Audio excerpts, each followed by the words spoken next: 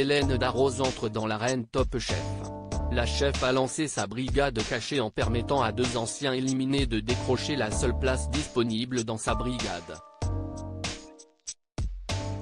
En apprenant cette nouvelle règle, les candidats ne sont pas revenus.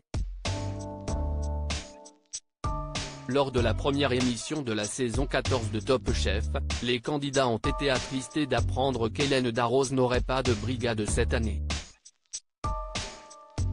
Elle laissait alors les concurrents aux mains des chefs Perret, Herscheba et Viel. Mais celle qui a gagné le concours avec ses protégés trois ans de suite a plus d'un tour dans son sac.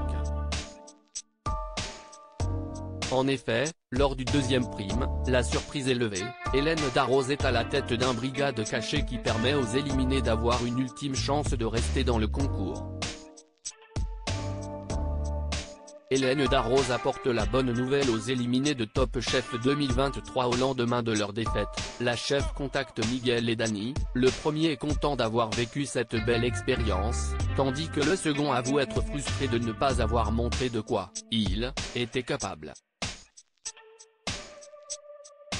Heureusement pour eux, Hélène Darroze leur apporte une excellente nouvelle, une chance de reprendre le concours dans sa brigade.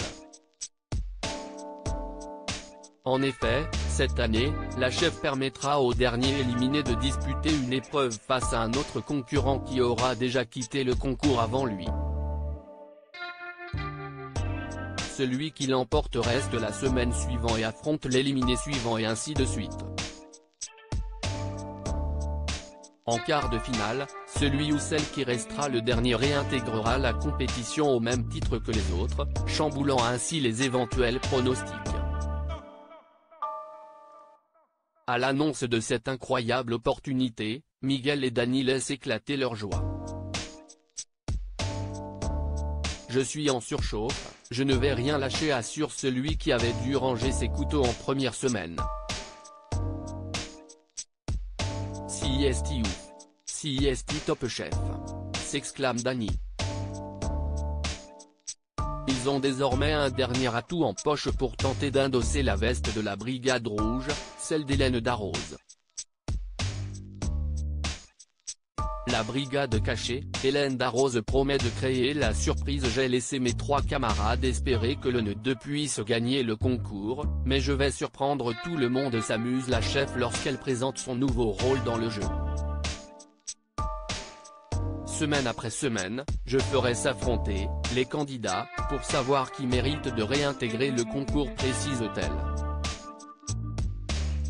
Et ensemble, je vous le dis, à la grande surprise de tous, on gagnera Top Chef. Si est une lourde responsabilité que la chef fait peser sur les épaules de celui ou de celle qui obtiendra cette place inespérée?